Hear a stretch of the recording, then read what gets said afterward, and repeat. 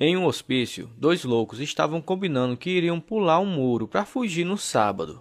Na quinta-feira, foram treinar. Eles pulavam para fora e para dentro de novo. Na sexta-feira, choveu muito forte. E no sábado, a chuva parou e um louco disse ao outro: Vai lá ver se dá para fugirmos hoje.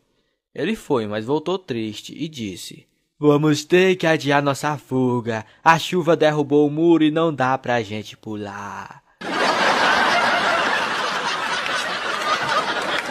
Uma senhora viajava ao lado de um padre num avião. Desculpe, padre, posso pedir um favor? Claro, minha filha. É, eu comprei um secador de cabelo muito caro e eu tô preocupada com a alfândega. Será que o senhor poderia escondê-lo debaixo de sua batina? É, está bem, mas eu não posso mentir.